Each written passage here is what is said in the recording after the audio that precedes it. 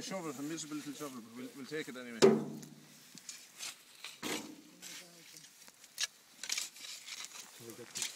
Lovely, well done, guys. So when are you taking them out again? It will be April. April. It will be the first week after Easter. They're on the south, they're on the south side. I don't know when Easter is 2012. Is it an early one? It was late this year. It's still quite It's late. the second week in April.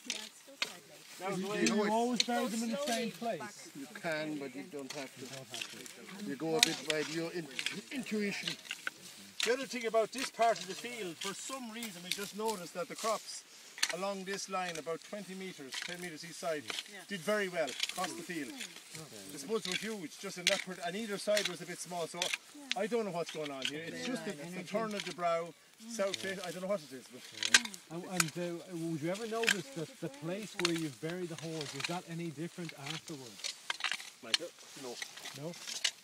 Okay.